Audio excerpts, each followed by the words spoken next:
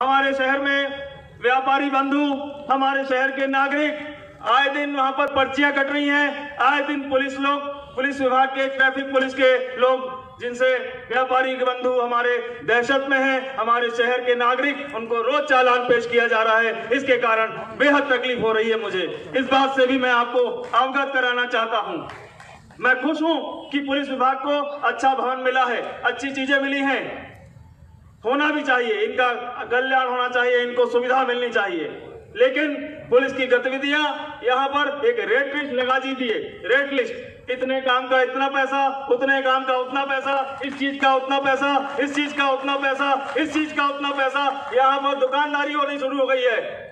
माननीय मंत्री जी, आपके निर्देश पर जो पुलिस विभाग को काम करना चाहिए, वो पुलिस विभाग हमारे बिलासपुर में काम नहीं कर रहा है। इसका मुझे बेहद अफसोस है, बेहद खेद है। मैं किसी प्रकार का माफिया नहीं चलाता हूँ।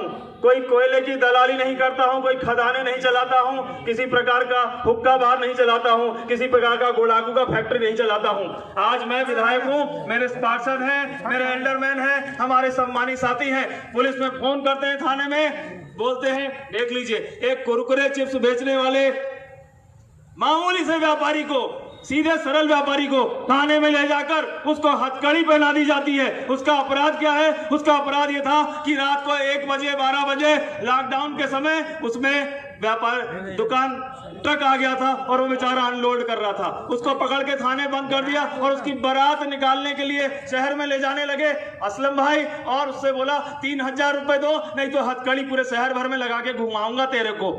ये इसी थाने की बात है। ऐसी थाने की बात है।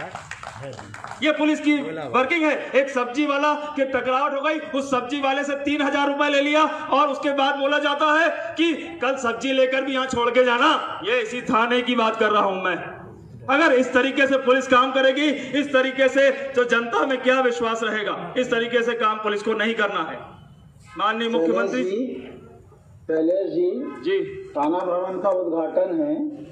थाना भवन के उद्घाटन में अपने आप को सीमित रख के बोले तो ज़्यादा अच्छा है जो आपको शिकायत है रिटर्न में दे दें मैं जाँच करवा दूँ लोग आदरणीय मंत्री जी मैं आपका बहुत बहुत आभार व्यक्त करता हूँ। आपने मेरी बात को संवेदनशीलता से लिया और मैं आपको शिकायत लिखित में ही भेजूँगा और मैं यहाँ के पुलिस पुलिस विभाग को पुलिस अधिकारियों को नए थाना भवन के लिए बहुत बहुत बधाई देता हूँ। मंत्री जी आपका बहुत बहुत आभार व्यक्त करता हूँ।